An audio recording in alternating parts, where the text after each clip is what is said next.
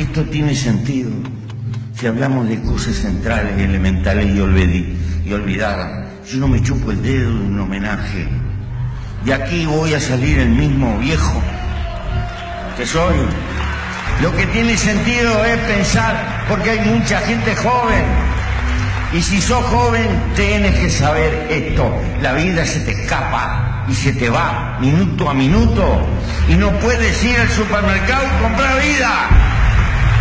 Entonces, lucha por vivirla, por darle contenido a la vida.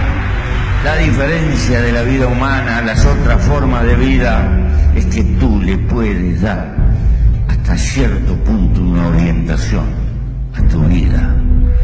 Tú puedes, en términos relativos, ser autor del camino de tu propia vida.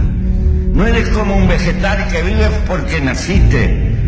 Después de haber nacido puedes dar un contenido o no.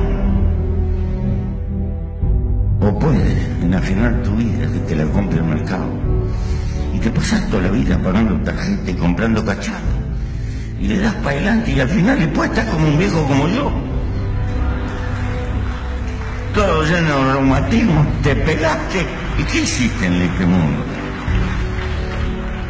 Pero si tuviste un sueño y peleaste por una esperanza e intentaste transmitirle a los que quedan, tal vez quede un pequeño aliento rodando en las colinas, en los mares, un pálido recuerdo que vale más que un monumento, que un libro, que un himno, que una poesía, esperanza humana que se va realizando en las nuevas generaciones. Compañeros, nada vale más que la vida, luchen por la felicidad. Y la felicidad es darle contenido a la vida y rumbo a la vida y no dejarte que te la roben. Y para eso no hay receta, está acá, en la conciencia. Si sos usado o usás el la maravillosa oportunidad de haber nacido casi milagrosa. Por lo demás, un segundo consejo a los jóvenes. Lo imposible cuesta un poco más y derrotados. Derrotados son solo aquellos que bajan los brazos y se entregan. La vida te puede dar mil tropezones en todos los órdenes, en el amor, en el trabajo, en la aventura de lo que estás pensando, en los sueños que pensás concretar. Pero una y mil veces estás hecho con fuerza para volverte a levantar y volver a empezar, porque lo importante es el camino.